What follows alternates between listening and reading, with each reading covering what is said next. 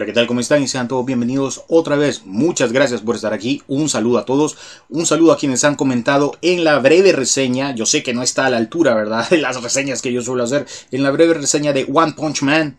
Eh, pero es que me ha encantado, no he querido hacerle spoilers y combinado al hecho de que no sé mucho todavía de ese anime, no me considero para nada, para nada un conocedor de One Punch Man.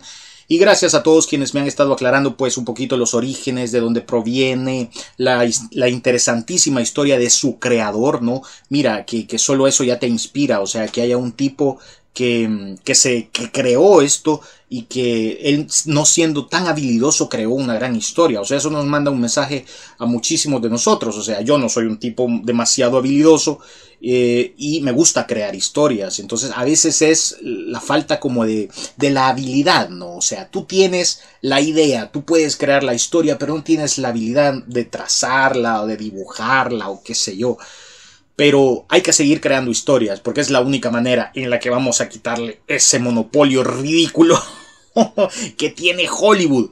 Eh, y que a mí después de haber visto One Punch Man me queda claro, o sea, hay que hay que empezar a ver otra vez hacia el anime. Los japoneses están ahí, nos están diciendo, hey, aquí hay un pequeño refugio, que las mierdas políticamente correctas aquí no van a entrar. Los japoneses no lo van a permitir por cuestiones culturales. O sea, es, es totalmente absurdo todo esto. Así es que yo creo que voy a empezar a consumir más cosas eh, japonesas o, en su defecto, cosas antiguas cuando antes de que entrara toda esta mierda de las ideologías identitarias y, y esta mierda del, de la corrección política. Por cierto, salud, estamos tomando un poquito de Black Label. Oh, una mini botellita de Johnny Walker Black Label. Porque eh, no alcanzó la plata para más. ¿Y por qué no alcanzó la plata para más?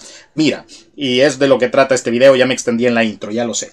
Eh, a ver, yo tenía una colección, bueno, tengo una colección y la mostré hace poco, de una recopilación de cómics de Star Wars, de los primeros cómics que el señor George Lucas mandó a hacer para mantener viva eh, la llama ¿no? de Star Wars. Recientemente se había estrenado a New Hope el episodio 4, ¿no? O sea, George fue, acuérdate, elaborando todo esto en la medida de que él veía que las cosas iban teniendo éxito. O sea, él no se esperaba de que Star Wars a New Hope tuviera éxito, y de hecho no se llamaba New Hope, era simplemente Star Wars.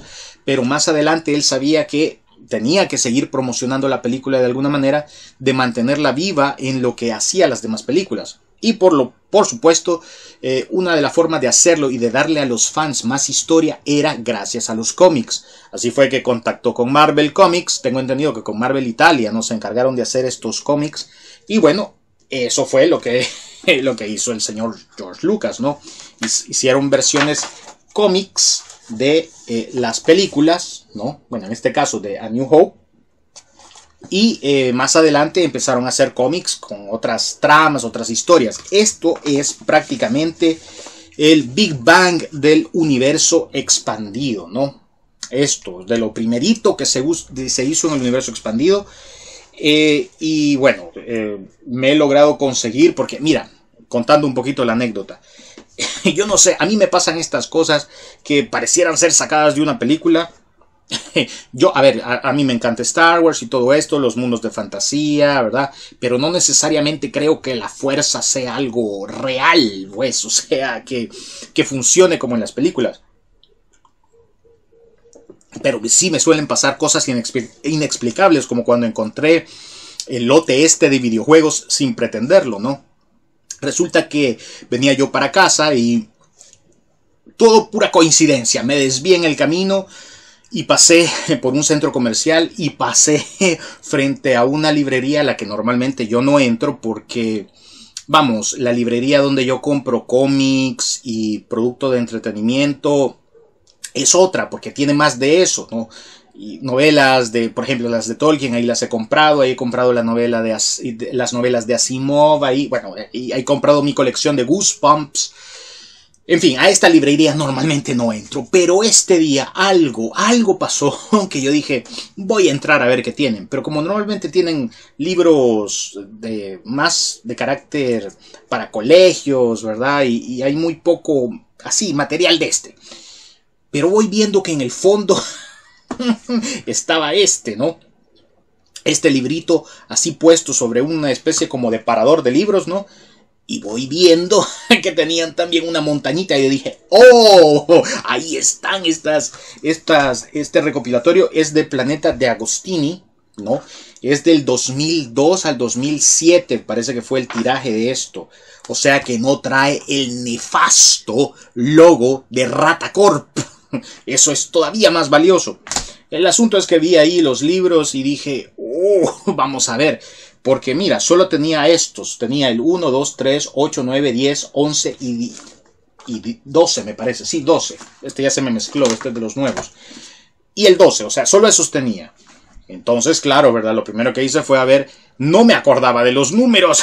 Así es que tuve que llamar a casa y pedir que por favor, por un mensajito me los mandaran, ¿no?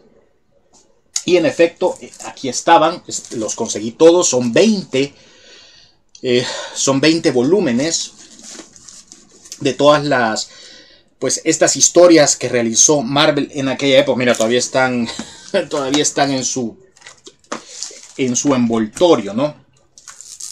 Entonces, claro, ¿verdad? No lo pude resistir. Estaban a 3 dólares cada librito. Me parece que para lo que pueden llegar a costar en mi país las cosas, estaba bien el precio. Así que ni modo, dije, a sacar la tarjeta de crédito. Vamos a ver. Bueno, de hecho no usé la tarjeta de crédito, pagué en efectivo, no quería utilizarla. Mira, mira los artes, o sea, es, es extraordinario. Esta era una época donde el trazo era totalmente diferente a lo que se ve hoy. Eh, muy clásico, muy chapado a la antigua. No sé si se irá a ver algo en cámara.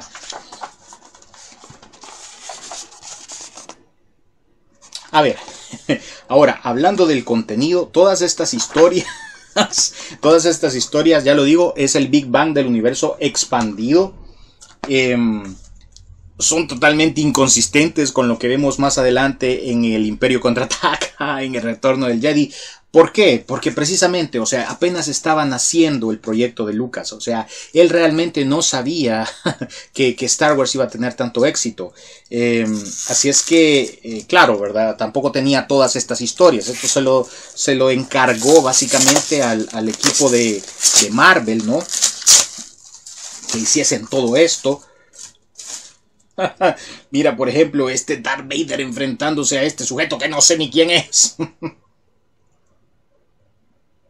o sea, se mira genial, se mira genial. Independientemente de que las historias sean inconsistentes con las películas posteriores, es por lo que te digo, que, Lucas únicamente estaba tratando de, pues, de mantener viva la llama, ¿no? De, de, Star Wars. No, no estaba del todo seguro cómo iba a evolucionar.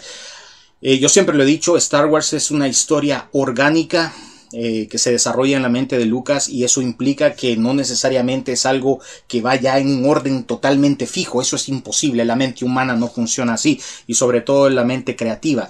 Vamos, que yo lo puedo ver incluso con mentes más brillantes que las de George eh, en ciertos aspectos, ¿no? Como por ejemplo con J.R. Tolkien, o sea, eh, Tolkien igualmente, o sea, él tenía cosas que iba evolucionando constantemente, que iban entrando en contradicción con sus mismas historias más adelante, las descartaba, las incorporaba, de hecho tiene mucho material eh, inédito que a él probablemente nunca le hubiese gustado verlo publicado, por eso mismo, porque choca, ¿no?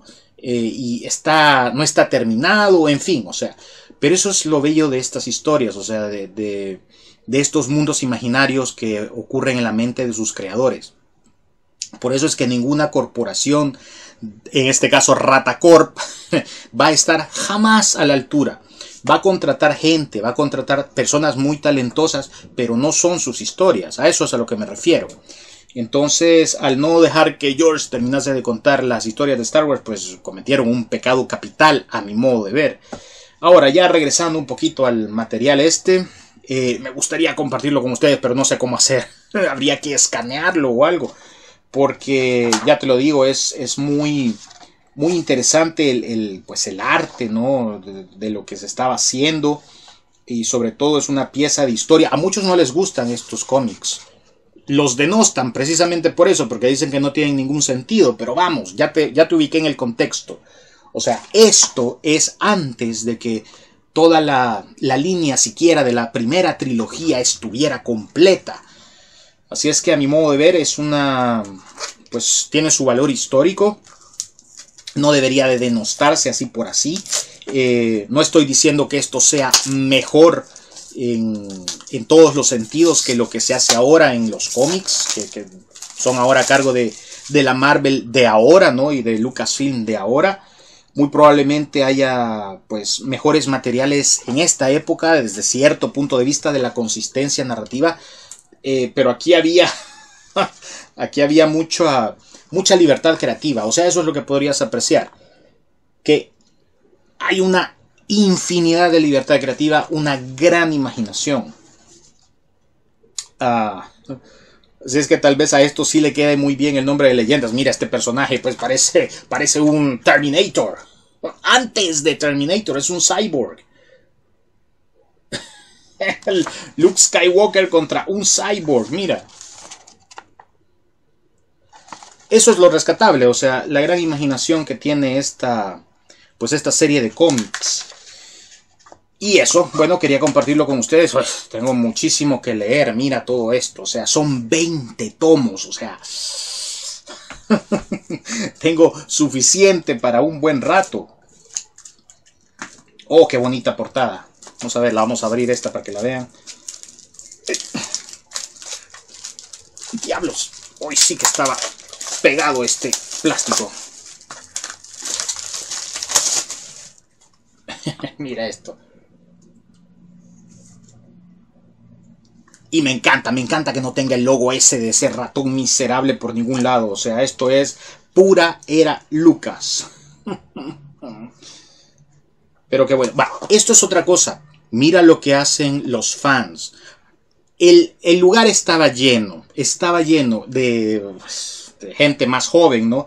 Y que cuando veían el, librito, porque el único que estaba, digamos, abierto era el que lo hice. Ah, no sé, el tomo 1, ¿no?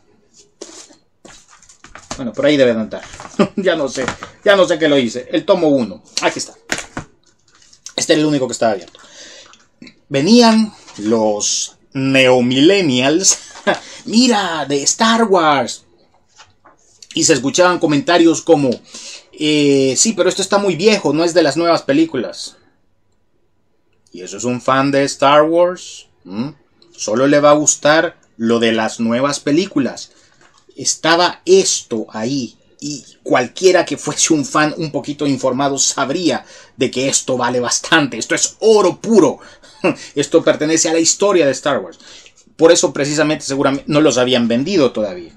Así es que eh, mala estrategia de Lucasfilm y de Disney el denostar lo antiguo porque con eso nos dan una patada en el trasero también a los que tenemos el poder. Mira, esto es Lucasfilm. Esto es lo que un fan de determinado rango de edad hace. Se compra todos estos libros de un solo. Porque el poder adquisitivo que tenemos los cuarentones es más grande, ¿no? Entonces yo creo que han hecho mal la apuesta. En lugar de decir que muera el pasado, que el pasado no sé qué, que... Era de rendirle homenaje. Star Wars siempre fue un homenaje al pasado, a las películas de los años 30. O sea, lo equivalente de lo que sería Star Wars de 1977 ahora a eso, eso era Star Wars, un homenaje a Flash Gordon y a todas esas películas de, ciencia ficción y de fantasía que tanto le gustaban a, al señor George Lucas cuando era niño. Uy, pero bueno, diablos, se cayó la luz. Algo tenía que pasar, ¿verdad? Es la fuerza de...